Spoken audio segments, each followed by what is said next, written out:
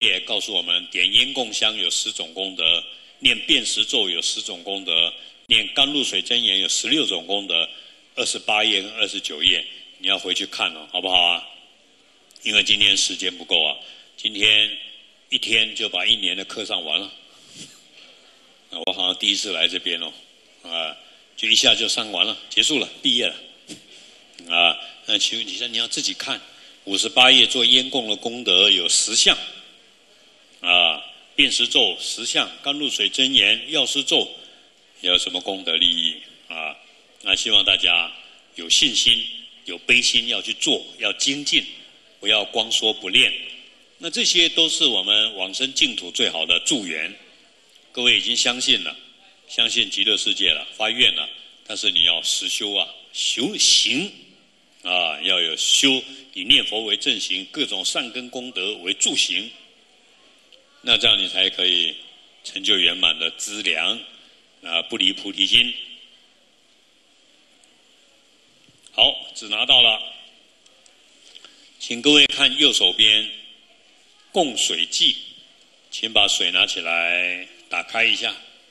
一杯水供养佛，回向给鬼道，可以超度八万四千个鬼。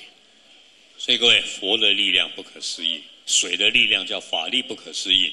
再来，你的信心、慈悲心不可思议啊！所以一杯水以慈悲心供佛，回向给恶鬼道。一杯水可以超度八万四千个恶鬼。今天我们有四百个人，就乘以四百了。一杯水供佛，回向给鱼虾海鲜，一年之内这个都市所被吃掉的海鲜水产超度。一杯水拿来供养佛，可以等于念了一百万遍的消业障的咒语。一杯水拿来供养佛，等于念了一百万遍的发财咒。要不要发财？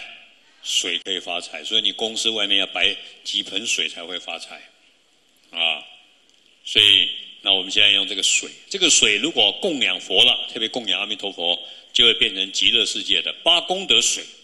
所以供水记里面写水有八德，啊，以这个八功德水供养十方法界四圣六道，浊诸恶业，六道众生的恶业都消除了，六道马上清凉，地狱道、恶鬼道、畜生道的清凉。水来，那嗡阿吽，各位就点几滴出去。来，我们先念供水记，来一起念。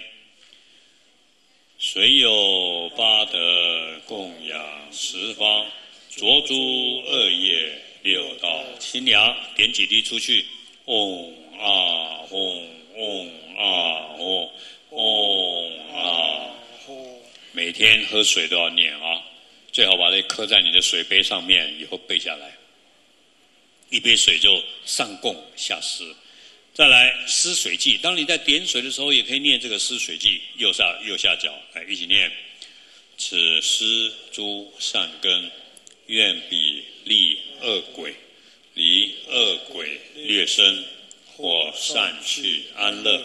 嗡啊吽，嗡啊吽，哦啊哦，非常慈悲。那左上角功德回向滴水记，因为佛陀教频婆沙罗王做完功德，观想在水里倒出去，所以各位你去南传佛教，他们一定会用用用这个，然后他们出家人最后就念经，然后所有功德最后就倒在外面啊，各位大家都会。那这个是经典说的，那我们汉传佛教比较没有在实践，但是各位现在更要实践。因为我们有很多冤亲债主，因为你这个滴下去，这个水就可以渗到很深的土里面、墙角、石头缝，最后融入在地下水、河水、大海，所以你百千万劫的冤亲债主就通通得得到。不然有时候你来打佛七回去还生病，为什么？冤亲债主没有得到，因为我们也不知道我们欠谁呀，啊，几百世的功德。然后七百世的冤亲债主不知道他在哪里呀？但是你有功德，他就会跟你要，他希望你给他。所以佛陀教我们要这样做：强缘即入住无边处所者，雨水由天降，终必会低处。现在不要在里面倒，等一下各位这一瓶水法会完了，所有功德融入在这个水，只要你嗡啊吽，倒到你家附近，好不好？那你们那边就会发了，家里的人的冤亲债主也得到超度啊，意思了？所以强缘即入住无边处所者，你到的时候要观想大雨哦，雨水由天降，终必会低处，最后一定会最深、最远、最细的缝都会有这个水。所以频婆沙罗王七世以前，七个佛之前的冤亲债主毁谤三宝，而下无间地狱，到了迦舍佛投胎做咽口鬼，然后频婆沙罗王做功德，这些咽口鬼就来讨讨。因为宾婆沙龙不知道，当天做完功德，晚上做噩梦，来问佛陀，佛陀就告诉他，哦，原来这个理由，所以佛陀就教他这样滴，而且马上让他看，哇，他这些冤亲债主开始有水喝了，有衣服穿啦，有食物吃啦，而且各个升天了，住皇宫，因为宾婆沙罗王盖僧寮啊，供水功德都给他们了，呃，成为宾婆沙罗王的护法，啊，如果你的冤亲债主成为你的护法，那你很顺利。如果你的阿公还在地狱，你每天走路都会跌倒、生病，因为他苦，他苦，他就会影响到你，所以有互相影响的意思。所以如此之布施，福之一恶鬼，不但给冤亲债主这样的布施福报功德，也利益了所有恶鬼众生，犹如满溢流得遍于大海。哦，就像这个功德融入大海，各位一滴水滴到大海，这个大海永远有你的功德在。这个叫回向的意思。那南传佛教是用实际的水去做回向，因为天气热嘛，而且那些恶鬼道都可以喝啊。所以如此犹如满溢流得遍于大海，如此施善果，这样布施的善果福之一恶鬼，能够帮助恶鬼。好，最后我们来回向，再回向一次，我们叫做排位回向。然后来念一下啊，愿意持功德。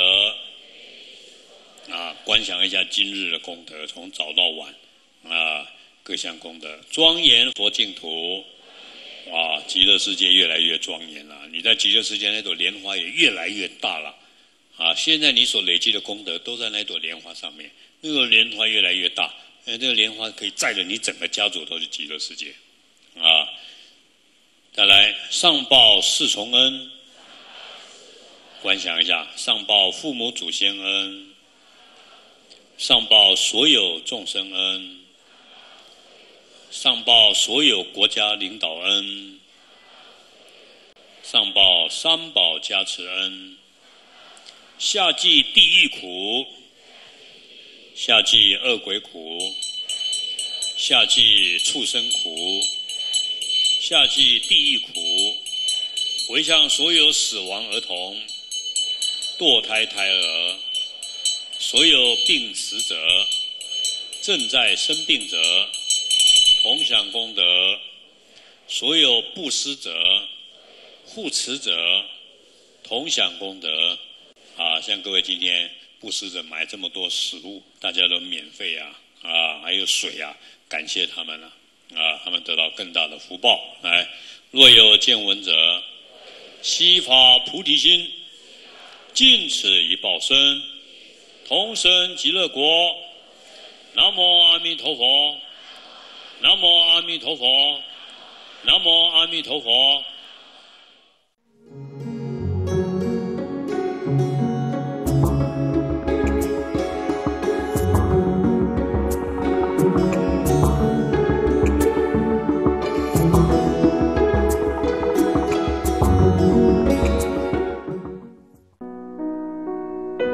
有佛法就有办法，像有太阳、有空气一样。生命电视台的存在，对于这个世间、对痛苦的众生是那么重要，所以希望大家多收看生命电视台，多护持生命电视台，将佛陀的教法深深的去思维，运用在我们的日常生活。护持账号。一九九六五二三二，一九九六五二三二，户名生命文化基金会。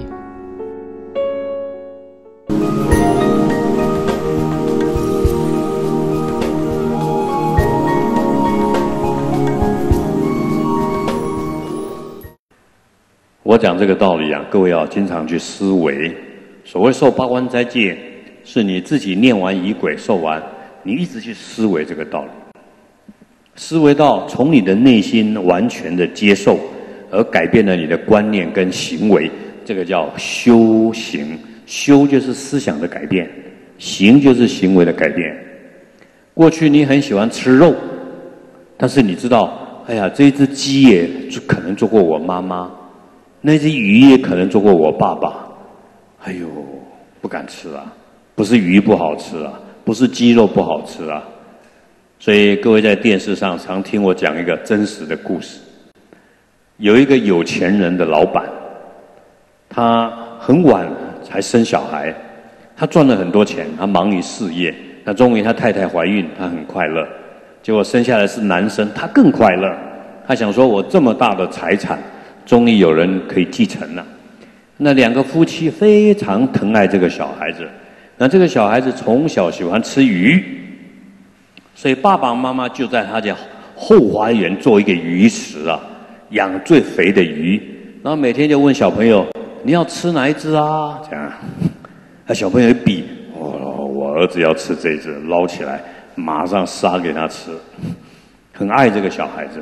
但这个小孩子到了十六岁，生病，病得很厉害，死掉了。死掉以后啊，哎呀，这个做爸爸哭啊，我这么大的事业，不要不想做了，我就是要给儿子的，儿子居然死了，我我赚这个钱干嘛？那做妈妈呢更难过。躺在床上哭啊，起不来啊，生病了，生病了。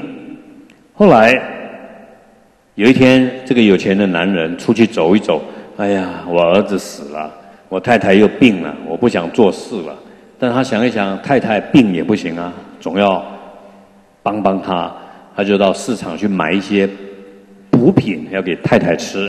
结果到市场一排在卖海鲜的，海鲜的，活的。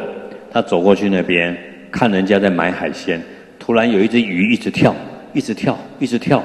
他想说：“好吧，就买这只鱼回家煮吧。”啊！但是这个男人不错，他平常有念观音菩萨，所以各位念观音菩萨很重要。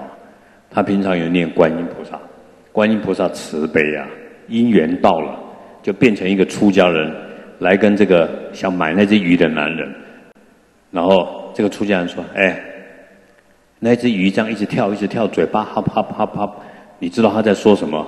这男人说：“鱼也会说话，我让你听听看，你看他在说什么。”这观音菩萨就用神通让他听得见。这个鱼在哈哈在做什么？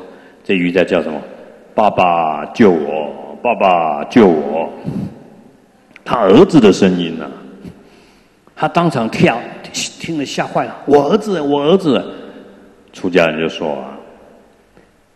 你平常买鱼给你儿子吃，是爱他还是害他？你害死他，他吃一只鱼叫五百次做鱼被吃被杀。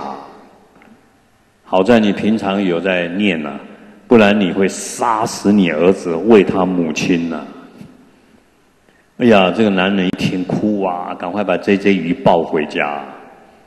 啊，放在他家的游泳池啊，每天看啊，儿子啊，儿子啊，不敢跟他老婆说啊。各位，这是真实的故事。你买的鱼，你买的鱼啊，哦，你买这只鱼给你儿子吃，你不知道你买的这个鱼是你大儿子，你过去堕胎的小孩啊，这样。所以千万不要去杀生，进一步最好不要吃肉。因为吃肉就是吃父母的肉，各位你记住我这句话：吃肉就是吃父母的肉。所以为什么出家人要吃素？因为出家人听了佛法，了解这是一个戒律，也是个慈悲啊。